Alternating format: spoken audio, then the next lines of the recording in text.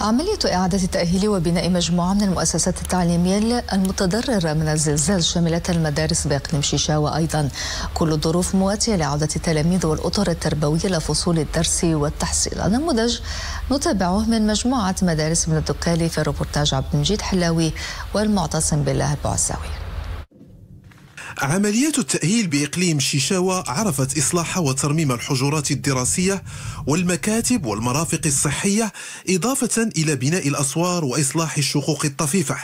العملية تضمنت أيضا إحداث ملاعب رياضية وتأهيل الفضاءات الخضراء وتجهيز فضاءات ألعاب الأطفال بالتعليم الأولي.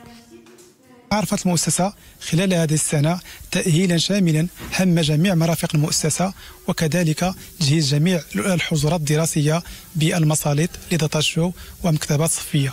كل هذا من أجل دخول مدرسي ناجح وكذلك استقبال التلاميذ والتلميذات في ظروف جيدة. مؤسسات آه، تهيئة جديدة. الشيء الذي سوف يساعد حتما في آه، تحصيل سواء آه، تحصيل التلاميذ تحصيل المعرفي للتلاميذ حيث سوف يجدون فضاء جد مناسب من أجل التعليم. وكذلك عطاء الأستاذ. فعندما تكون المؤسسة مجهزة حتما الأستاذ بدوره سوف يجد فضاء وجو مناسب للعمل.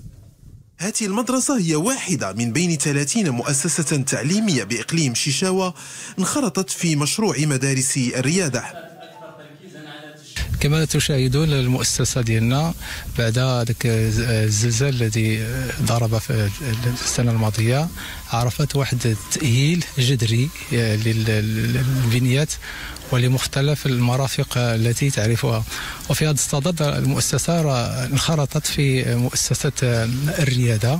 الحمد لله داك الشيء ولا زوين بالنسبة للتلاميذ والتلميذات ديال مجموعة مدارس بنت كوالي والحمد لله المؤسسه ولات زوينه تبارك الله اللهم بارك وكاين تغيير تبارك الله كاين تغيير الحمد لله المدرسة المركزية ابن دكالي هي من المدارس التي تمت إعادة تأهيلها بإقليم شيشاوة ضمن المؤسسات المبرمجة خلال الشطر الأول وذلك بعد تشخيص تقني للبنايات تم إنجازه مباشرة بعد وقوع الزلزال.